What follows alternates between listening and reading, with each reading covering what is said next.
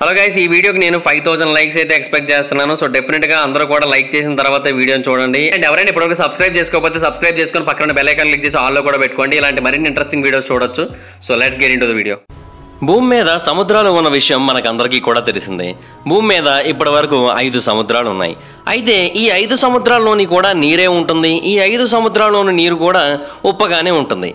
అయితే మన భూమి మీద ఉన్నట్టుగా ఈ విశ్వంలోని వేరు వేరు గ్రహాలలో సేమ్ ఇటువంటి సముద్రాలే ఉండాలన్న రూల్ అయితే లేదు కదా. మన దగ్గర వర్షం పడినప్పుడు నీరు పడుతుంది కాబట్టి సముద్రాలలో కూడా నీరే ఉంటుంది. కానీ కొన్ని కొన్ని గ్రహాల మీద అసలు మన ఊహకి ఏమాత్రం అందనంత వింత వింత వర్షాలు పడుతూ ఉంటాయి. ఆ వింత వింత వర్షాల కారణంగా ఆయా ప్రాంతాలలో వింత వింత సముద్రాలు ఉంటాయి. సో ఈరోజు ఈ వీడియోలో ఈ విశ్వంలో ఉన్న కొన్ని గ్రహాలలోని వింతైన సముద్రాల గురించి తెలుసుకుందాం. అండ్ ఆ సముద్రాలు ఏర్పడడానికి కారణమైన ఆయా ప్రాంతాలలో పడే వింత వింత వర్షాల గురించి కూడా తెలుసుకుందాం.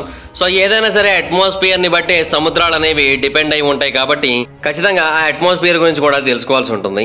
సో ఇంకెందుకు లేడు let's get into the video number one diamond ocean శాస్త్రవేత్తలు ప్రపంచానికి అందజేసిన అట్మాస్ఫియరిక్ డేటా ప్రకారం జూపిటర్ మరియు సాటర్ మీద డైమండ్ సముద్రాలు ఉన్నాయి. దాదాపుగా ప్రతి ఏడాది వెయ్యి టన్నుల డైమండ్ వర్షాలు ఆయా ప్రాంతాలలో పడుతూ ఉంటాయి.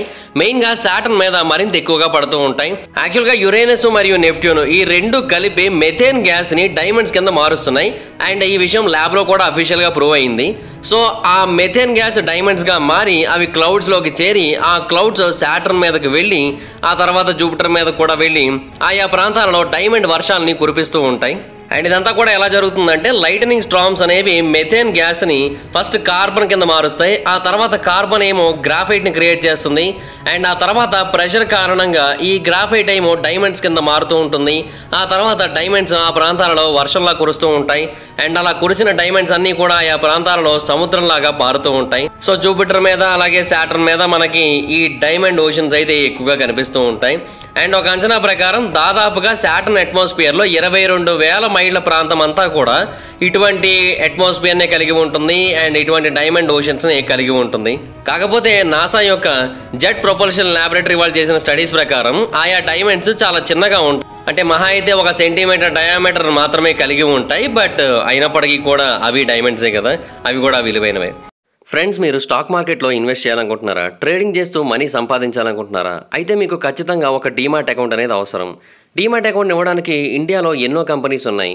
అయితే వాటిలో ఏంజిల్ వన్ అనేది ఇండియాలోనే ది బెస్ట్ కంపెనీ ఒకప్పుడు ఏంజిల్ బ్రోకింగ్గా ఉన్న ఈ సంస్థ ఇప్పుడు ఏంజిల్ వన్గా మారింది. ఈ ఏంజిల్ బ్రోకింగ్లో డీమాట్ అకౌంట్ ఓపెన్ చేసుకోవడానికి మీరు మనీ ఏమి పే చేయాల్సిన అవసరం లేదు. ఇంకా చాలా కంపెనీస్ ఉన్నాయి అవి అకౌంట్ ఓపెన్ చేసుకోవడానికి మనీని ఛార్జ్ చేస్తాయి. కానీ ఏంజిల్ బ్రోకింగ్లో డీమాట్ అకౌంట్ని మనం ఫ్రీగా ఓపెన్ చేసుకోవచ్చు. సో అక్కడ మీకు ఇంట్రెస్ట్ ఉన్నట్టయితే నేను డిస్క్రిప్షన్లో ఏంజిల్ వన్ యొక్క లింక్ అయితే ఇచ్చాను. ఆ లింక్ మీద క్లిక్ చేసి డీమాట్ అకౌంట్ ఓపెన్ చేసుకొని స్టాక్ మార్కెట్లో ఇన్వెస్ట్ చేయడం స్టార్ట్ చేయండి. ఒకవేళ మీకు స్టాక్ మార్కెట్కి సంబంధించి కంప్లీట్ నాలెడ్జ్ లేకపోయినట్టయితే ఫస్ట్ డీమాట్ అకౌంట్ ఓపెన్ చేసుకొని కంప్లీట్గా నాలెడ్జ్ తెచ్చుకున్న తర్వాత పూర్తి స్థాయిలో ట్రేడింగ్ చేయండి. డిస్క్రిప్షన్లో లింక్ ఉంటుంది. దాని మీద క్లిక్ చేసి అకౌంట్ ఓపెన్ చేసుకోండి. Number two sulphuric acid ocean sulphuric acid అనేది భూమి మీద లేదు కాబట్టి మనం బ్రతికిపోయాం కానీ ఒకవేళ ఈ భూమి మీద సల్ఫ్యూరిక్ యాసిడ్ ఓషన్ కనుక ఉన్నట్టయితే మనం ఈ పాటికే చనిపోయే వాళ్ళం. అండ్ మనం వీనస్ మీద నివసిస్తున్నా కూడా చనిపోయే వాళ్ళం. ఎందుకంటే వీనస్ మీద సల్ఫ్యూరిక్ యాసిడ్ ఓషన్ ఉంది కాబట్టి. భూమి మీద ఉన్న అట్మాస్ఫియరిక్ మాస్తో కంపేర్ చేసినట్టయితే వీనస్ మీద ఉన్న అట్మాస్ఫియరిక్ మాస్ దాదాపుగా తొంభై మూడు రెట్లు ఎక్కువ ఉంటుంది. సో అందుకనే వీనస్ చాలా హెవీ డెన్సిటీని కలిగి ఉంటుంది అట్మాస్ఫియర్ విషయంలో. అండ్ అలాగే అక్కడ ప్రెషర్ కూడా చాలా ఎక్కువగా ఉంటుంది. మన భూమి మీద ఉన్న ప్రెషర్తో కంపేర్ చేసినట్టయితే తొంభై రెండు రెట్లు ఎక్కువ ప్రెషర్ ఉంటుంది. అలాగే భూమి మీద ఉన్న క్లౌడ్స్ అన్ని కంప్లీట్గా ఎవాపరేటెడ్ వాటర్తో తయారైతే వీనస్లో ఉన్న క్లౌడ్స్ అన్ని కూడా సల్ఫ్యూరిక్ యాసిడ్తోనే తయారవుతూ ఉంటాయి. సో దాని కారణంగా ఆ సల్ఫ్యూరిక్ యాసిడ్ కిందకు పడుతూ ఉంటుంది. ఆ సల్ఫ్యూరిక్ యాసిడ్ టెంపరేచర్ కూడా మైండ్ బ్లోయింగ్ గానే ఉంటుంది. ఎందుకంటే ఎనిమిది వందల తొంభై నాలుగు డిగ్రీల ఫారెన్హీట్ టెంపరేచర్ని కలిగి ఉంటుంది. సో చాలా అంటే చాలా టఫెస్ట్ పొజిషన్ అని కూడా చెప్పుకోవాలి. అక్కడ నివసించడం అనేది. అండ్ ఇంకొకటి ఏంటంటే కొన్ని కొన్నిసార్లు ఈ మేఘాలు సర్ఫేస్ నుంచి కేవలం పదిహేను పాయింట్ ఐదు మైళ్ళ ఎత్తులో మాత్రమే ఉంటాయి. సో దీని కారణంగా కూడా సల్ఫ్యూరిక్ యాసిడ్ రైన్స్ చాలా ఎక్కువగా పడుతూ ఉంటాయి. అండ్ దాని కారణంగా సల్ఫ్యూరిక్ యాసిడ్ ఓషన్స్ అక్కడ చాలా పెద్ద సంఖ్యలో క్రియేట్ అవుతూ ఉంటాయి. సో అక్కడ బ్రతకడం అనేది ఇంకా ఆల్మోస్ట్ ఇంపాసిబుల్ అనే చెప్పుకోవాలి. Number three liquid methane ocean Saturn యొక్క మూన్ అయిన టైటాన్ ఆల్మోస్ట్ భూమి లాంటి కొన్ని సిమిలారిటీస్ని కలిగి ఉంటుంది. అంటే భూమి మీద ఎలాగైతే వాల్కనోస్ ఉంటాయో అలాగే వాల్కనోస్ ఉంటాయి. భూమి మీద ఎలాగైతే రెయిన్ క్రియేట్ అవుతుందో సేమ్ అటువంటి సిచ్యువేషన్లోనే అక్కడ కూడా రెయిన్ అయితే క్రియేట్ అవుతుంది. డెన్స్ అట్మాస్ఫియర్ని కలిగి ఉన్న ఏకైక శాటిలైట్ కూడా అదే. అండ్ అంతేకాకుండా భూమి తర్వాత స్టేబుల్ బాడీస్ ఆఫ్ సర్ఫేస్ లిక్విడ్ని కలిగి ఉన్న ఏకైక స్పేస్ బాడీ అండ్ ఏకైక సోలార్ సిస్టమ్ బాడీ కూడా అదే. ఇంకా దీనిని మించిన బెటర్ పొజిషన్లో భూమికి ఆల్టర్నేటివ్గా ఏ గ్రహం కూడా లేదు. అయితే ప్రాబ్లం ఏంటంటే ఈ టైటాన్ మీద ఐసీ మైథేన్ రెయిన్ స్టోమ్స్ చాలా ఎక్కువగా క్రియేట్ అవుతూ ఉంటాయి బీభత్సంగా పడుతూ ఉంటాయి. సో దాని కారణంగా అక్కడ icy methane I mean liquid methane oceans అయితే ఎక్కువగా కనబడుతూ ఉంటాయి. గడిచిన వెయ్యి సంవత్సరాలుగా ఇటువంటివి కంటిన్యూస్గా పడుతూనే ఉన్నాయి. దాని కారణంగా అక్కడ చాలా పెద్ద సంఖ్యలో అటువంటి ఓషన్స్ అయితే క్రియేట్ అయ్యాయి. భూమి మీద ఉన్న అట్లాంటిక్ ఓషన్ ఎంత పెద్దగా ఉంటుందో దాదాపుగా అంతే లెంత్లో మనకి అక్కడ ఉన్న సముద్రాలు కూడా కనిపిస్తూ ఉంటాయి. అయితే అవి మెల్లిమెల్లిగా ఎవాపరేట్ అయిపోతున్నట్టు కనిపిస్తూ ఉంటాయి కానీ బట్ అదైతే నిజం కాదు. అది మెథేన్ క్రియేట్ చేసే ఒక ఎఫెక్ట్ మాత్రమే. నిజానికి అక్కడ surface temperature minus two ninety degrees foreign హైట్లో ఉంటుంది. సో దాని కారణంగా ఆ లిక్విడ్ మెథేన్ మళ్ళీ ఎవాపరేట్ అయ్యే అవకాశాలే లేవు. నెంబర్ ఫోర్ గ్లాస్ ఓషన్ మన భూమికి దాదాపుగా అరవై మూడు లైట్ ఇయర్స్ డిస్టెన్స్లో ఒక వింతైన ప్లానెట్ ఉంది. ఆ ప్లానెట్ పేరు HD one eight nine seven double three B ఈ వింతైన ప్లానెట్ని కనుక మనం చేరుకున్నట్టయితే దాని మీద మనకి గ్లాస్ ఓషన్ కనబడుతూ ఉంటుంది. ఎందుకో తెలుసా? ఆ ప్రాంతంలో గ్లాస్ వర్షం రూపంలో రెగ్యులర్గా కురుస్తూ ఉంటుంది కాబట్టి. అది కూడా మోల్టన్ గ్లాస్ కురుస్తూ ఉంటుంది. సో అందువలనే మనం అక్కడ నివసించడం అనేది ఆల్మోస్ట్ ఇంపాసిబుల్ అనే చెప్పాలి. అండ్ దాని యొక్క స్టార్కి చాలా దగ్గరగా కూడా ఉంటుంది అది సో దాని కారణంగా దాని మీద టెంపరేచర్ పద్దెనిమిది వందల డిగ్రీల ఫారెన్ హైట్ ఉంటుంది. సో అందువలన కూడా మనం ఉండలేము. కాకపోతే ఎందుకని అంతలాగా మోల్టన్ గ్లాస్ కురుస్తుంది అనేది శాస్త్రవేత్తలకు ఎవరికి అర్థం కావట్లే. కాకపోతే ఇక్కడ ఇంకో ప్రాబ్లం కూడా ఉంది. అదేంటంటే ఆ మోల్టన్ గ్లాస్ ఒక చోట పడాల్సింది ఇంకొక చోట పడి ఒక చోట మోల్టన్ గ్లాస్ ఓషన్ క్రియేట్ అవ్వాల్సింది ఇంకో చోట క్రియేట్ అవుతుంది. దానికి రీజన్ ఏంటంటే దాని మీద ఎయిర్ అంటే ఆ ప్లానెట్ మీద ఎయిర్ గంటకి ఐదు వేల నాలుగు వందల మైళ్ళ వేగంతో వీస్తూ ఉంటుంది. దాని కారణంగా రెయిన్ హారిజాంటల్గానే ఎక్కువ పడుతుంది వెర్టికల్గా కంటే. సో ఆ గాలికి మనం ఉండలేము అలాగే ఆ వర్షానికి మనం ఉండలేము ఆ సముద్రానికి మనం ఉండలేము. సో దాని కారణంగా మనం అక్కడికి వెళితే ఒక సెకండ్లో వెయ్యో వంతులో మనం చనిపోయే అవకాశం చాలా ఎక్కువగా ఉందని చెబుతున్నారు. రాకీ ఓషన్ రాకీ ఓషన్ అంటే కేజీఎఫ్ టూలోని రాకీ బాయ్ సముద్రం అని కాదు. రాకీ అంటే రాళ్ళతో కూడుకున్న సముద్రం అని అర్థం.